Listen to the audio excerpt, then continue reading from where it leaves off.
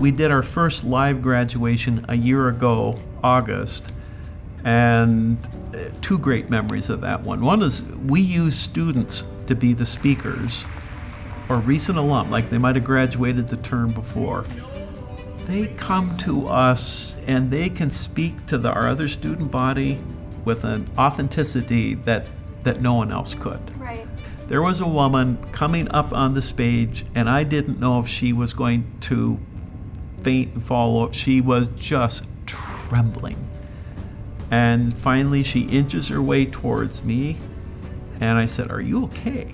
You know, she was just trembling, and the words is, I never thought I would graduate from college.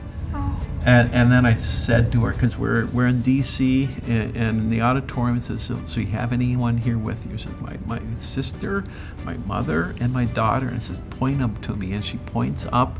And then you just heard this tiny little voice says, that's my mama. And then there were tears cascading out, and I mean, but her emotion all came. But you know, so many of my, my students are parents, like 65% have kids.